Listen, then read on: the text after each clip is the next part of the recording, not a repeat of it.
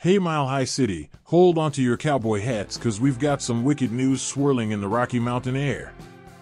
Word on the street is that the Denver Broncos are cooking up a deal hotter than a summer day at Red Rocks. They're eyeing none other than the defensive dynamo, DJ Reader, to beef up their roster. Sources deep in the Broncos camp spill the beans that negotiations are in full swing, and the vibe is electric. It's like a high altitude lightning storm is about to hit Empower Field at Mile High, and fans are ready to unleash a thunderous roar if this deal comes to fruition. Picture this DJ Reader, the Mile High monster, wreaking havoc in the trenches, making the Broncos' defense as impenetrable as the Rocky Mountains. It's got fans doing the touchdown dance just thinking about it. Locals are already talking the talk, tossing around phrases like readers about to bring the mile high magic, and our defense is gonna be on another level, man.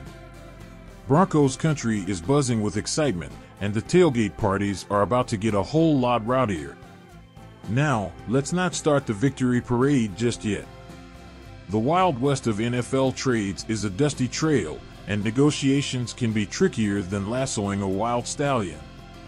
The nitty gritty details are being hashed out, the dollars, the years, and all the bells and whistles. If the ink hits the dotted line, Denver is in for a football fiesta like never before. Picture the Broncos faithful decked out in orange and blue, unleashing a mile high roar that echoes through the peaks and valleys of the Centennial State. Broncos fans are already dreaming up some Rocky Mountain worthy chants to welcome DJ Reader to the squad. Reader, Rock, and Roll, Defense on a Roll, and Mile High Dominance, brought to you by DJ Reader, are just a taste of the creative frenzy. So, buckle up, Broncos Nation. The DJ Reader saga is unfolding like a tumbleweed in a desert breeze. Will he trade in the Lone Star State for the Rocky Mountain High? Time will tell, but one thing's for certain if this deal goes down, the Broncos are about to saddle up for a wild ride with the Reader leading the charge.